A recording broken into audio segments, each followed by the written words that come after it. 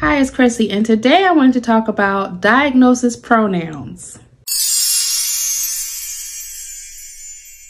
So, when I was first diagnosed with cancer, I decided to call cancer cornflakes. That's what I called it. I don't know exactly why I called it cornflakes. I just know I didn't want to say the word cancer.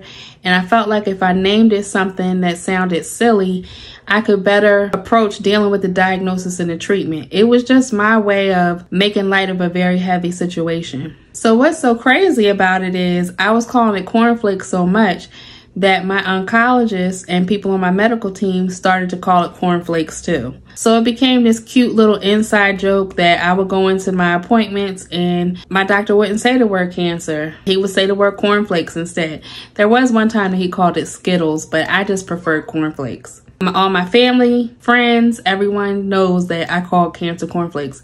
It's only, I called cancer cornflakes for the first two years of my diagnosis. It's only recently that I really started saying the word cancer because cancer is such a weighty word. It has a lot of emotions wrapped up in it. And I just felt like it was just too much. It was just too much to deal with and too much to handle. So that was my diagnosis pronoun. Now, I do know other people that name their diagnosis as well. I have come across people who may give it a name, like a first name, like Tim or Sally or something like that, or something silly or an object. And I find that everybody kind of has the same viewpoint. It's just a way to help to navigate what you're going through. Next time you're dealing with something that seems like it's too much, consider giving it a name. Something silly just so that you can face it and overcome it as best as you can. Even though I do identify cancer as cancer now, I still get a smile on my face every time I think about calling cancer cornflakes. It's just something silly, but it was very effective in helping me deal with the diagnosis. And if you're going through something like that, it may help you face something in your life that you may not be able to face. Try naming it something else. See if it works for you.